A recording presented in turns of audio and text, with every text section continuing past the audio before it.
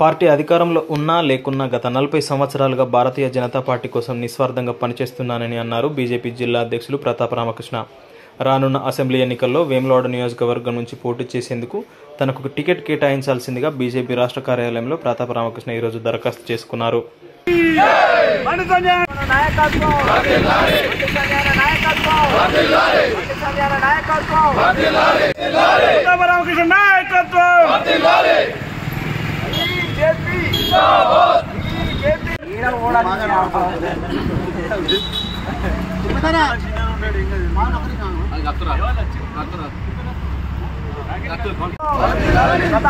నాయకత్వం భారత్ మాతాకి నాయకత్వం లో ఎలక్షన్ ఒక విధానం ఒక ప్రత్యేకమైన పార్టీ భారతీయ జనతా పార్టీ. అధికారం కోసం కాకుండా దేశ రక్షణ కోసం లేకుంటే సంస్కృతి సాంప్రదాయాలు హిందూ ధర్మాన్ని కాపాడడం కోసం చేసే ప్రయత్నం చేస్తుందో బీజేపీ.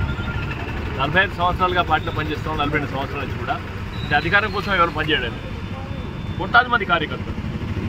ఈ సిద్ధాంతం కోసం ఈ దేశ రక్షణ కోసం ఈ దేశం బాగుండాలి ఈ ధర్మం కూడా పనిచేస్తూ ఉన్నాం.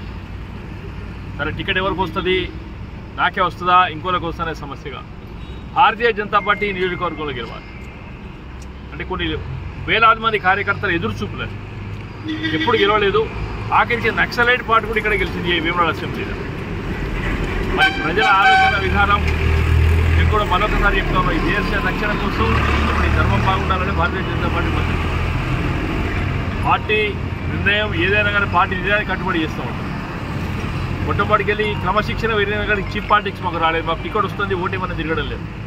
పార్టీ అధిష్టానమే ఫైనల్. ఎవరో దగ్గర పువ్వు గుర్తుకోటేమని చెప్తున్నాను అభ్యర్థుల సంఘం తర్వాత. మరి ఇవన్నీ కూడా కార్యకర్తలు ఇంతకుముందు చెప్పిన నలభై రెండు సంవత్సరాలు పనిచేస్తున్నామంటే ఆ సిద్ధాంతం ఒక గొప్పతనం.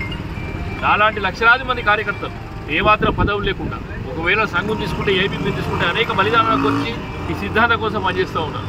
మరి వాళ్ళ స్ఫూర్తిగా తీసుకొని ఈ నియోజకవర్గంలో టికెట్ ఎవరికి వచ్చినా మనందరం కూడా ఈసారి ఖచ్చితంగా కూడా వేమవాడ ప్రాంతంలో ఈ నియోజకవర్గంలో భారతీయ జనతా పార్టీని గెలిపించాల్సిన ప్రజల గుర్తు ప్రత్యేకంగా యువత నాది మహిళలకు.